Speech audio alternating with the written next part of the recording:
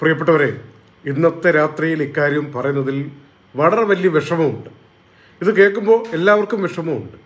രണ്ട് വൃദ്ധ ദമ്പതികൾ ഷാർജ എമിറേറ്റിൽ ഷാർജയുടെ ഹൃദയഭാഗത്ത് റോളയിൽ നിന്ന് അജ്മാനിലേക്ക് പോകുന്ന വഴിയിൽ നബ്ബ ആ ഭാഗത്ത് ഒരു ഫ്ലാറ്റിൽ എഴുപത്തിമൂന്ന് വയസ്സുള്ള ഭാര്യയും ഭർത്താവും തൂങ്ങി മരിച്ചതിന്റെ റിപ്പോർട്ടാണ് നമ്മൾ അറിയുന്നത്.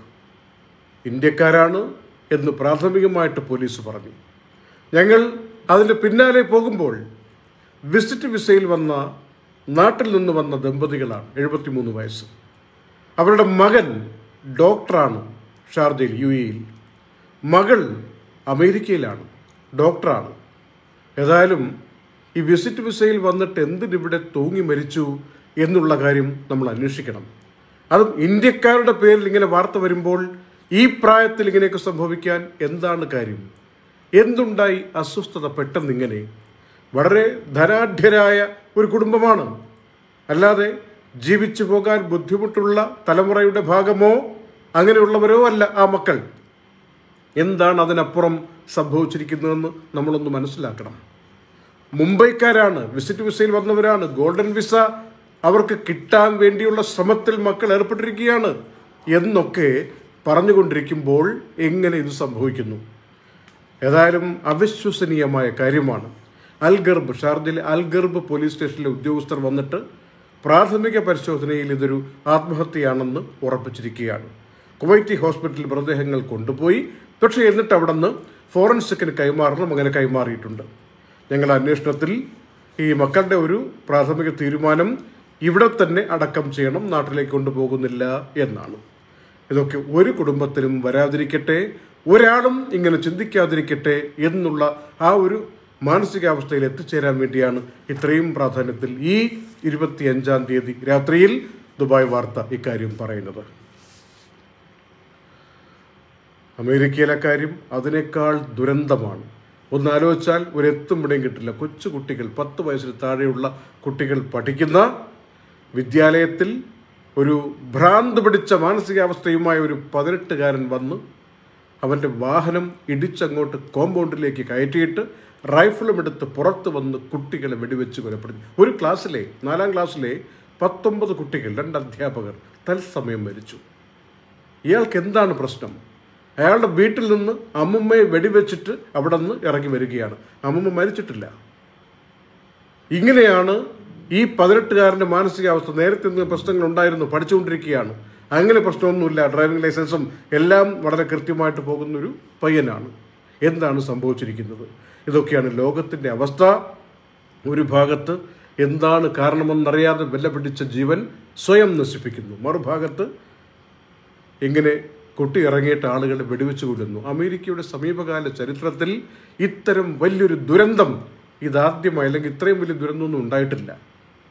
മുമ്പൊക്കെ സ്കൂൾ വെടിവെപ്പ് കേസുകൾ മൂന്ന് പേർ നാല് പേർ ഇങ്ങനെയൊക്കെ മരിച്ച റിപ്പോർട്ട് വരുന്നു. ഇത് ഏതായാലും ഈ പയ്യനെ കീഴടക്കാൻ വേണ്ടി പോലീസ് ഓടിയെത്തിയിട്ട് വെടിവെച്ച് കൊലപ്പെടുത്തേണ്ടി തന്നെ വന്നു. അല്ലാതെ പിടിക്കാൻ പറ്റിയിട്ടില്ല. എന്ത് തരം ധൈര്യവും മാനസികാവസ്ഥയും ഊർജവുമാണ് ഈ കുട്ടിക്ക് കിട്ടിയിരിക്കുന്നത് ഇങ്ങനെ വെടിവെച്ച് കൊല്ലാൻ? എന്താണ് ആ അവനെ അലട്ടിയ പ്രശ്നം? ഇതൊക്കെ സമൂഹം പഠിക്കേണ്ട വിഷയമായി മാറിക്കൊണ്ടിരിക്കുകയാണ്. നമുക്ക് ദുബായിലേക്ക് വരുമ്പോൾ കഴിഞ്ഞ ആഴ്ച നടത്തിയ ഇന്ത്യൻ കോൺസുലേറ്റിന്റെ പാസ്പോർട്ട് സേവ വോക്കിൻ അത് വൻ വിജയമായി മാറിയല്ലോ. ആളുകൾ പോയിട്ട് കിട്ടാതെ വന്നു. സമയം കഴിഞ്ഞു പോയി എന്ന് പറഞ്ഞു.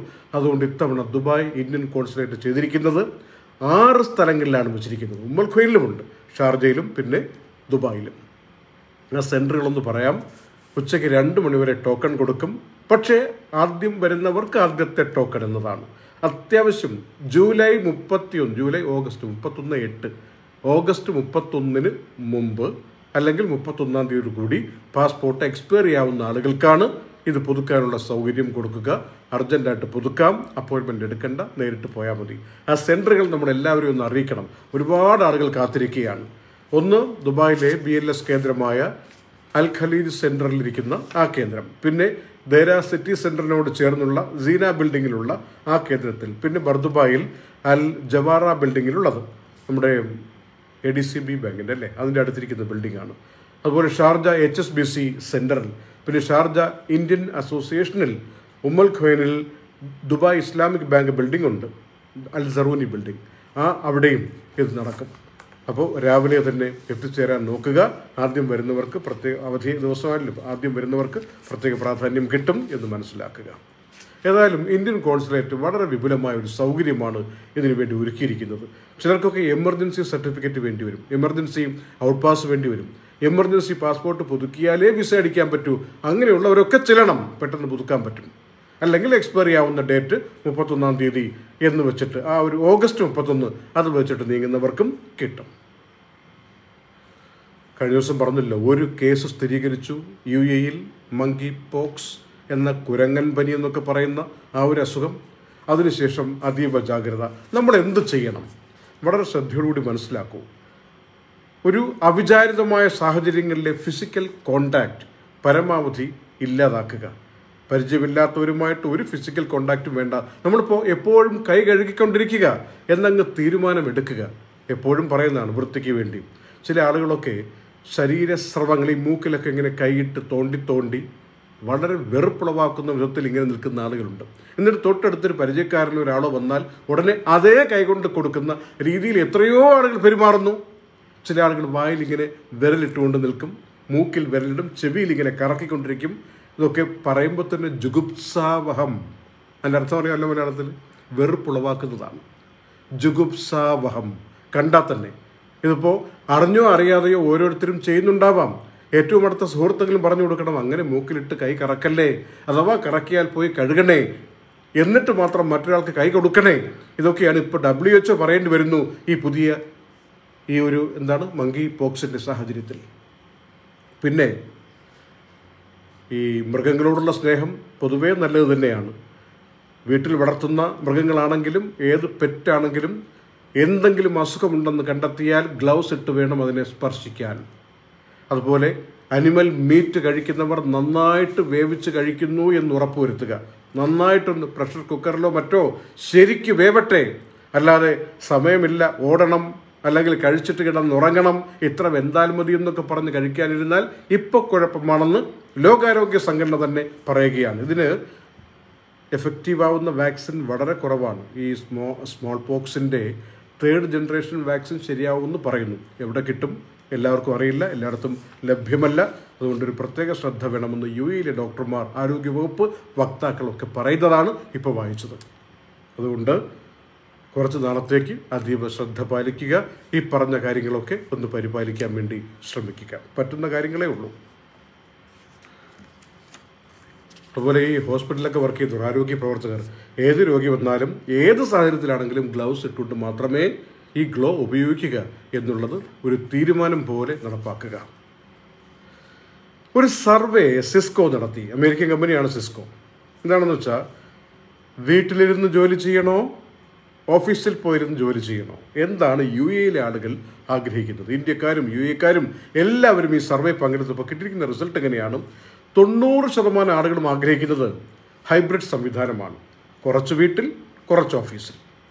പിന്നെ കുറച്ചാളുകൾ സമ്പൂർണമായും റിമോട്ട് കൺട്രോൾ എന്ന രൂപത്തിൽ മറ്റൊരു സ്ഥലത്തിരുന്നു കൊണ്ട് ജോലി ചെയ്യുക. വീട്ടിലാകാം കാറിലാകാം മറ്റേതെങ്കിലും ഡെസ്റ്റിനേഷനിലാവാം. ഇതൊക്കെയാണ് ഇപ്പോൾ പ്രിഫർ ചെയ്യുന്ന ജോലി സാഹചര്യം എന്നാണ് ഈ റിപ്പോർട്ട് പറയുന്നത്. നമ്മൾ എവിടെ നിൽക്കുന്നു? ഓരോരുത്തർ ആലോചിച്ച് നോക്കൂ. ഓഫീസിൽ പോയാലും ജോലി ചെയ്യണോ? വീട്ടിലിരുന്ന് ഓഫീസിൽ വർക്ക് ചെയ്യണോ? ഓരോരുത്തർക്കും തീരുമാനിക്കാവുന്ന വിഷയമാണ്. അബുദാബി ഒരു വലിയ പുതുമ കൊണ്ടുവന്നിരിക്കുന്നു. ഈ വിസ അടിക്കാൻ വേണ്ടിയുള്ള മെഡിക്കൽ ടെസ്റ്റ് ഉണ്ടല്ലോ. അതിനുവേണ്ടി ഇനിയിപ്പോൾ സേഹ സെന്ററിലേക്കോ അങ്ങനെയുള്ള ക്ലിനിക്കുകളിലേക്കോ അങ്ങോട്ട് പോകാതെ മൊബൈൽ സ്ക്രീനിങ് സെന്റർ വാഹനം വന്ന് നമ്മുടെ അടുത്ത് ക്യാമ്പുകളിലൊക്കെ വന്ന് നിന്നിട്ട് മെഡിക്കൽ ടെസ്റ്റ് എടുക്കുന്ന വിസ അടിക്കാൻ വേണ്ടിയുള്ള ഫിറ്റ്നസ് സർട്ടിഫിക്കറ്റ് കൊടുക്കുന്ന സംവിധാനത്തിലേക്ക് വരുന്നു. എക്സ്റേ മെഷീനോട് കൂടി തന്നെയാണ് ഈ സംവിധാനം വരിക. പതിനഞ്ച് മിനിറ്റിനും മുപ്പത് മിനിറ്റ് മാക്സിമം ഒരാൾക്ക് ചിലവഴിക്കേണ്ടി വരും. അതിനപ്പുറം പോകേണ്ടതില്ല. ആളുകൾക്ക് വലിയ സൗകര്യമായി ലീവ് എടുത്തൊന്നും പോവേണ്ടതില്ല ഈ മെഡിക്കൽ ഫിറ്റ്നസ് ടെസ്റ്റിന് വേണ്ടി. ആഗോള ടൂറിസം പരിപാടികളുടെയൊക്കെ ഒരു വിശകലനം വരുമ്പോൾ മിഡിൽ ഈസ്റ്റ് നോർത്ത് ആഫ്രിക്ക പ്രദേശത്ത് യു എ ആണ് ഒന്നാം സ്ഥാനത്ത് നിൽക്കുന്നത്. അത് വിമാന കമ്പനികളുടെ കാര്യത്തിലും ടൂറിസം സാധ്യതയുടെ കാര്യത്തിലും യു എയിലേക്ക് വരാനാണ് എല്ലാവർക്കും താല്പര്യം. വന്നുകൊണ്ടിരിക്കുന്ന കണക്കിലും യു എക്കാണ് ഒന്നാം സ്ഥാനം എന്ന് റിപ്പോർട്ട് പറയുന്നു. അബുദാബിയിലെ ഇന്ത്യൻ എംബസി അറിയിച്ചിരിക്കുന്നു. കഴിഞ്ഞ ദിവസത്തെ ഗ്യാസ് സിലിണ്ടർ സ്ഫോടനത്തിൽ ഇന്ത്യക്കാരായ നൂറ്റിയാറ് പേർക്ക് പരിക്ക് പറ്റി ഒരാൾ മരിക്കുകയും ചെയ്തു. പാകിസ്ഥാൻ എംബസി അറിയിച്ചിരിക്കുന്നു. പതിനെട്ട് പേർക്ക് പരിക്ക് പറ്റി ഒരാൾ മരിക്കുകയും ചെയ്തു. ലോകത്തിലെ ഏറ്റവും വലിയ സമ്പന്നൻ എലോൺ മസ്കിന്റെ കാര്യത്തിൽ വലിയ ഇടിവ് വന്നിരിക്കുന്നു. ടെസ്ല കാറുകളുടെയൊക്കെ ഷെയറിങ് താഴെ പോയി. ഇരുന്നൂറ് ബില്യൺ എന്ന് പറയുന്ന ഡോളർ ആസ്തിയിൽ നിന്ന് മസ്ക് താഴേക്ക് പോയി. കുറച്ചു കാലത്തിനിപ്പുറം ആദ്യമായിട്ടാണ് അദ്ദേഹം കൂടെ താഴേക്ക് വരുന്നത്. കൂട്ടത്തിൽ അദ്ദേഹം റെസ്റ്റോറന്റ് നെറ്റ്വർക്ക് കൂടി തുടങ്ങാൻ പോവുകയാണ്. ടെസ്ല റെസ്റ്റോറന്റ് നമുക്ക് നോക്കാം എന്തൊക്കെ ബർഗറാണ് അദ്ദേഹം വിതരണം ചെയ്തത്. അദ്ദേഹത്തിന് ബർഗർ വലിയ ഇഷ്ടമായതുകൊണ്ട് ഞങ്ങൾ എടുത്തു പറഞ്ഞത്. ബർഗർ റെസ്റ്റോറന്റ് നെറ്റ്വർക്ക് ആയിരിക്കും വരിക. അത് രണ്ട് നിലകളിലായിരിക്കും. അമേരിക്കയിൽ ആദ്യം തുടങ്ങും. ലോകം മുഴുവൻ വ്യാപിപ്പിക്കാനാണ് അദ്ദേഹത്തിന്റെ പരിപാടി. ഫുട്ബോൾ വേൾഡ് കപ്പ് ഖത്തറിൽ ഇക്കൊല്ലം അവസാനം നടക്കുമ്പോൾ യു എയിൽ നിന്ന് ഖത്തറിലേക്കുള്ള റിട്ടേൺ ടിക്കറ്റിന്റെ ഏകദേശം ഒരു ചാർജ് ഇപ്പോൾ പറയുന്നത് ഏതാണ്ട് ഇരുപതിനായിരം ദർഹമാണ്. പോകുന്നെങ്കിൽ പോ ആർക്കെങ്കിലും ബുക്ക് ചെയ്യണമെങ്കിൽ ഇപ്പോൾ ബുക്ക് ചെയ്യണം.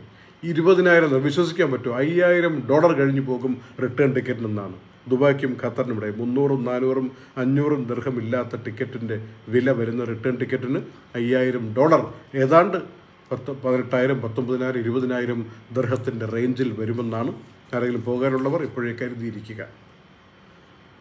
ദുബായ് വാർത്തയുടെ മെയ് ഇരുപത്തിയഞ്ചിന്റെ നൈറ്റ് അപ്ഡേറ്റ്സ് ലൈവ് സമാപിക്കുന്നു. നന്ദി.